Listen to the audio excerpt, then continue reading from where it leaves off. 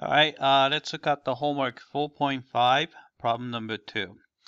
All right, so we have this function given and we want to find the derivative of uh, this function here. All right, so uh, let's do that.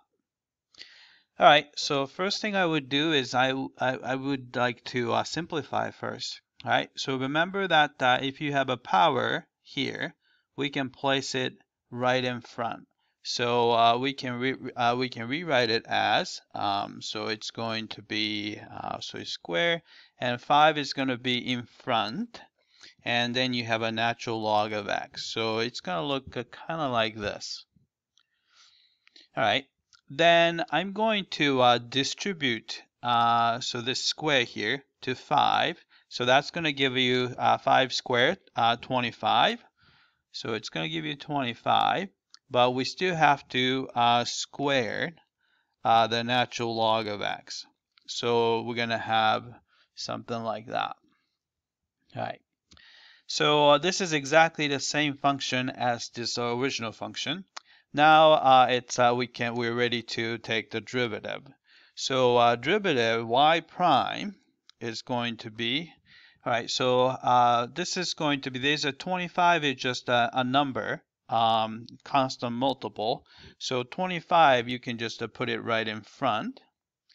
Then uh, you need to multiply uh, by the derivative of natural log of x squared, right? So this is power rule, put 2 in front. So uh, if you put uh, 2 in front, and we need to keep the natural log of x. So you have uh, natural log of x and then subtract 1 from the power. So it's going to be uh, natural log of x to the first power. Then uh, you have to use the uh, chain rule. So you have to multiply by the derivative of inside. So inside function is natural log of x. So derivative is 1 over x, right? So you have to multiply by 1 over x, which is going to be, uh, which is going to look uh, kind of like that, right?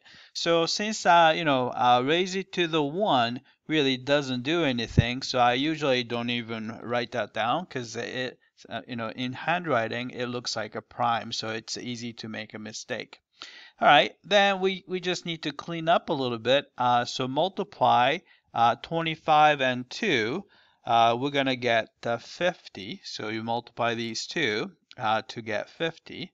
All right, then uh, we have over x. So maybe we can write a fraction. So it's going to be 50 over x.